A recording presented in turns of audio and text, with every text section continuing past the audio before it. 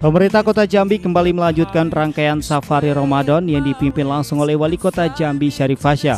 Safari Ramadan dilanjutkan ke Masjid Abu Bakar, Kelurahan Buluran, Kenali pada minggu malam.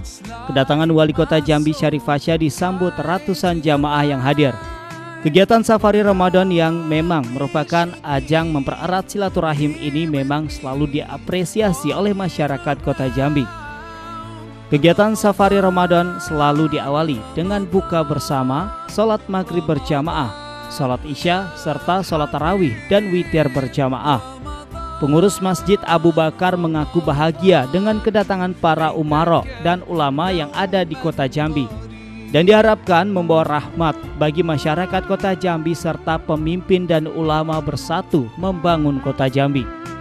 Wali Kota Jambi Syarif Fasya mengungkapkan atas nama pribadi maupun jajaran pemerintah Kota Jambi senantiasa memohon maaf kepada masyarakat Kota Jambi karena dalam pelaksanaan pemerintahan pasti ada benturan dengan masyarakat. Di setiap kegiatan safari Ramadan, Fasya senantiasa mengapresiasi pembangunan masjid. Fasya berharap masjid menjadi tempat yang dicintai oleh anak-anak generasi penerus bangsa dan agama karena pendidikan watak dan karakter generasi muda yang cinta agama dimulai dari masjid.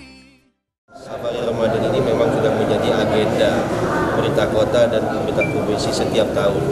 Untuk supaya apa? Supaya kami melihat kondisi daerah di sini. Yang pertama kedua untuk bersilaturahmi dengan masyarakat di sini dan ketiga kami berdiskusi menatap muka dan mendengarkan aspirasi dari masyarakat dan merupakan tanggung jawab kami, kewajiban kami, tapi hal tersebut belum kami laksanakan kepada masyarakat.